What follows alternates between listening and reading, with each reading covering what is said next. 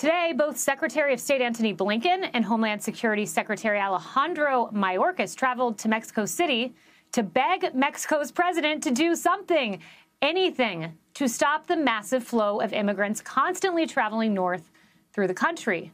Mexican President Manuel Lopez Obrador predicted the failures of the Biden presidency from the very beginning. You may not remember this, but this is 2021 Obrador, this is Mexico's president, described just how migrants viewed President Biden. He said, quote, they see him as the migrant president, and so many feel they're going to reach the United States. And voila, they have in record numbers. He was right. And at today's meeting with Mexico's president, noticeably missing was Biden's border czar, Kamala Harris. She's on a leisurely trip to California and won't return to the office until January 3rd. Here now with reaction, former ICE director and Fox News contributor Tom Homan. He's an expert on all of this, along with Florida Congressman Byron Donalds, who has put forward legislation to stop what we're seeing at the southern border. You know, let me start with you, Congressman Donalds. I'm sick and tired of hearing people say Republicans do not have a plan. You passed H.R. 2. You did your job in the House. Let's scroll it for our viewers. Here are all of the things in H.R. 2 that Republicans have done, and you can read it as we go along security, fencing, 22,000 minimum border, border Patrol agents, and much more. Congressman.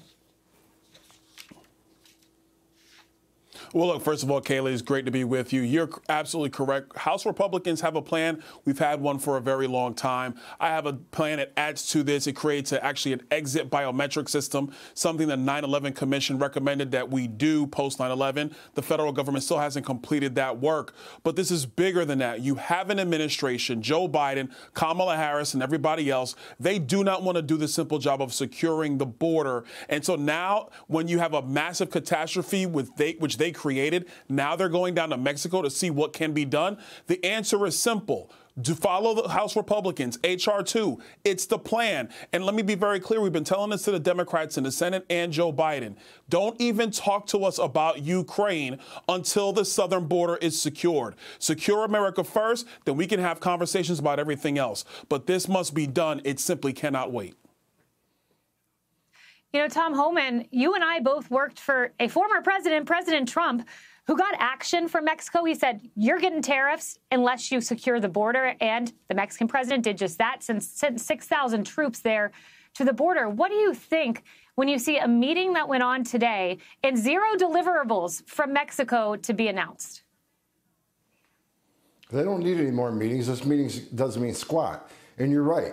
President Trump didn't go to Mexico and beg for help. He didn't go to Central America and beg for help. He didn't give them millions of dollars. This administration has given Mexico millions upon millions of dollars. They've given Central America millions of dollars. President Trump was a game changer.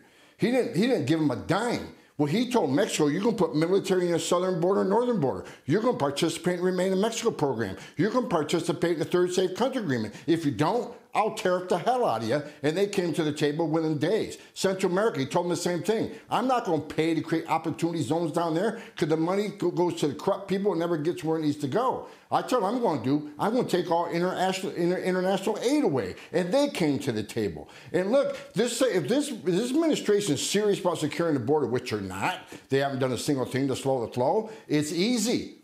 Dust off the Trump plans. We proved it worked. It's not even a question, will these policies work? We proved it worked. Anybody go to cbp.gov look at the numbers. The last two years under Trump, the most secure border in my career, three and a half decades. The, the data is clear. Illegal immigration at a 45-year low. We proved it worked. If they want to secure the border, they have the plan. Brush it off and put it in place.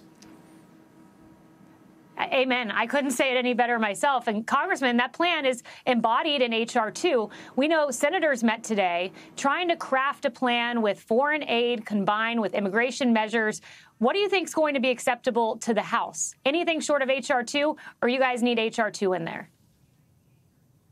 What's acceptable acceptable to the House is H.R. 2. It's simple stuff. We know it works. What we're not going to do is negotiate against ourselves for some ham handed deal that gets negotiated in the Senate. We have seen Senate negotiations occur in this country before. They basically are weak sauce, not worth the paper that they're printed on. The politicians in D.C. say, oh, this is great. Look at what we did, America. And then the reality hits home that nothing really changed. H.R. 2 is the starting point. The senators can negotiate all they want, but nothing's moving through the House without H.R. 2. You know, Tom, and where does this end? You've got 15,000 migrants heading. You have this caravan. You have Chinese nationals. Is there going to ever be a wake up call? I mean, even politics, Democrats have said, Biden, you need to do something. We showed you the CNN clip. First of all, let me foot stomp what the congressman just said. H.R. 2 needs to be passed fully, 100% of it, because it's a great plan, because it, it, it, has a lot of the Trump policies in it. H.R. 2 fully or nothing, no deal. And I'm shocked that the Democrats are willing to let Ukraine and Israel suffer because they want an open border so badly. Look, these 15,000, they're going to be processed, they're going to be released in the United States. It's catch and release. And when they when the cartels see thousands being released every day, that just gives them a selling point. We, they don't need a public affairs officer. They don't need a, a consultant to sell their services. The U.S. government's actions every day sells the services of the cartels because you cross the border illegally, you get released quickly, you get flown to the city of your choice on taxpayer dime. You'll get work, work authorization for the next five or seven years. You'll get a hotel room. You get three squares a day and free medical. Why the hell wouldn't it come? Because we're not enforcing law on the border. Kamala Harris, she, she, she called her border czar all she wants. She hasn't done a damn thing. She, she says, I want to find the underlying, underlying reasons for this mass migration. She just simply needs to walk down the hall into the Oval Office and she'll find the reason millions are coming across the border because they were made promises by this administration. You know, and Congressman Donalds, where's the president? I mean, he's on vacation. He sends Antony Blinken off. He sends Mayorkas off. They do nothing, no deliverables, zero. He's on vacation 40% of his presidency. I mean, Kayleigh, let's let's be honest. This man is the most unaccountable president in American history. You combine that with being the worst president in American history. The man is probably taking a nap as we speak. I know it's a little over nine Eastern. He's hmm. already gone to bed. We have a problem, America. Joe Biden is awful at this job. He is not a leader, and he is a radical being led by radicals in that administration. They all need to go. And for America, listen mean tweets, no mean tweets. Let's get somebody back in the White House who knows how to do the job and execute and put our country first. That's President Trump. Well, I hope uh, President Biden enjoys that beachside vacation. Wow, undeserved. Congressman Donalds, Tom Homan, thank you.